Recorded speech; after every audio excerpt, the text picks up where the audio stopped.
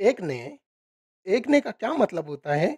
आज के इस वीडियो में हम समझ लेते हैं, एक ने वर्ड का हिंदी अर्थ होता है, मुहासा, मुहासे, मुँह पर होने वाली फुंसियाँ।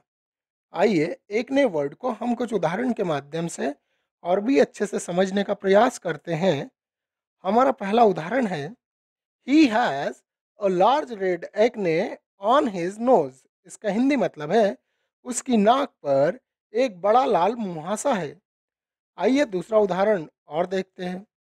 Effective treatments are available for acne इसका हिंदी मतलब है, मुहासे के लिए प्रभावी उपचार उपलब्ध हैं। इस वीडियो को लाइक करें और हिंदी इंग्लिश शब्दों का सीधा सीधा मीनिंग जानने के लिए चैनल को सब्सक्राइब करें और बेल का बटन प्रेस करें।